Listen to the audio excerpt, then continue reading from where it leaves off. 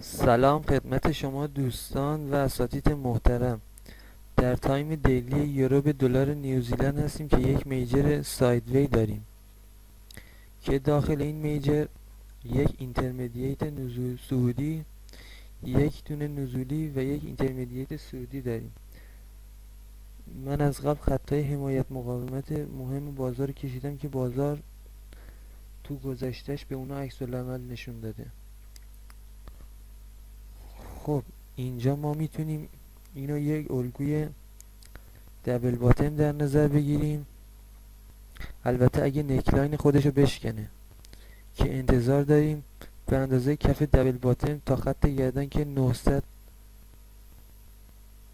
تقریبا 900 پیپ هستش صعود بکنه. یه نگاه به moving average ها میندازم. moving های 20 50 100 exponential من استفاده می‌کنم. moving ها اصلا دیگه دارن باز میشن. به ترتیبم هستن و یک روند صعودی رو به ما نشون میدن. میرم سراغ oscillator ا MACD به ما واگرایی نشون نمیده.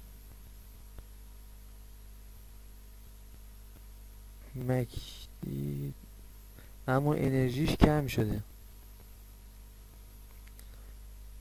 RSI هنوز اوورباوت نشده.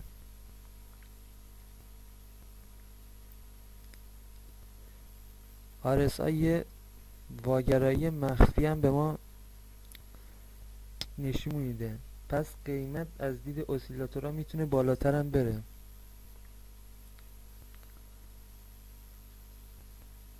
خب میرم pivot line رو میندازم.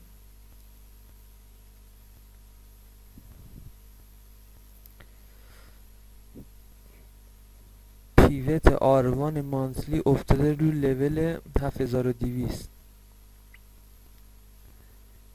این لول 7200 هم عدد round یه هم در گذشته بازار عکس العمل بهشون نشون داده و فعلا هم قیمت تو این لول گیر کرده.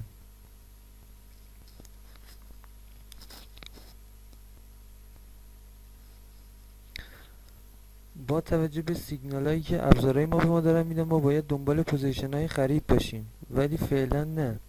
باید ببینیم قیمت می‌تونه این منطقه رو به سمت بالا بشکونه. البته با یک candle full body و بلند. یا نه. اگه شکست می‌تونیم وارد position خرید بشیم و target مون رو روی 7450 که هم آرتو مانتلیه هم در گذشته مقاومت مهمی بوده.